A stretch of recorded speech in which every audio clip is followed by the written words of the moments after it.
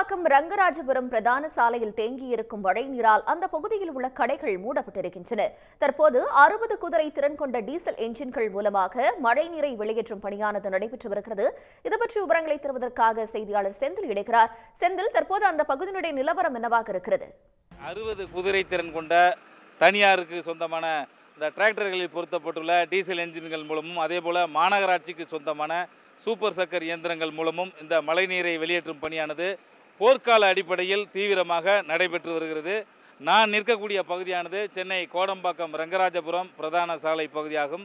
இந்த பகுதியில் இன்று காலை கிட்டத்தட்ட முழங்கால் அளவுக்கு தண்ணீர் தேங்கி இருந்தது. தற்போது மூன்று அறுபது குதிரை திறன் கொண்ட ராட்சத டீசல் என்ஜின்கள் மூலம் இந்த மழைநீரை வெளியேற்றும் பணியானது தற்போது தீவிரமாக நடைபெற்று வருகிறது.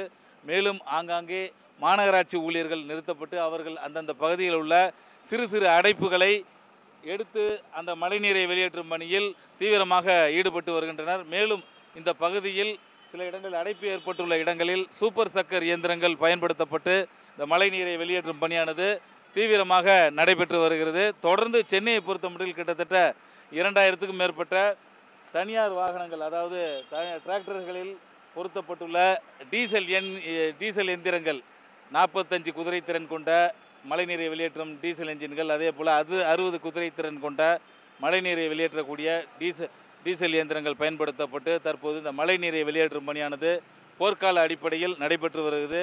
நான் இருக்கக்கூடிய கோடம்பாக்கம் பகுதியிலும் கிட்டத்தட்ட மூன்றுக்கும் மேற்பட்ட தற்போது இந்த இயந்திரங்கள் பயன்படுத்தப்பட்டு கிட்டத்தட்ட இருபதுக்கும் மேற்பட்ட மாநகராட்சி ஊழியர்களும் தற்போது இந்த மழைநீரை வெளியேற்றும் பணியில் தீவிரமாக ஈடுபட்டு வருகின்றனர். இன்னும் ஒரு இருபது மணி நிமிடங்களில் இந்த பகுதிகளில் உள்ள மழைநீர் முழுவதும் வெளியேறிவிடும் என மாநகராட்சி அதிகாரிகள் அதே போல மாநகராட்சி பணியாளர்களும் தெரிவித்திருக்கிறார்கள்.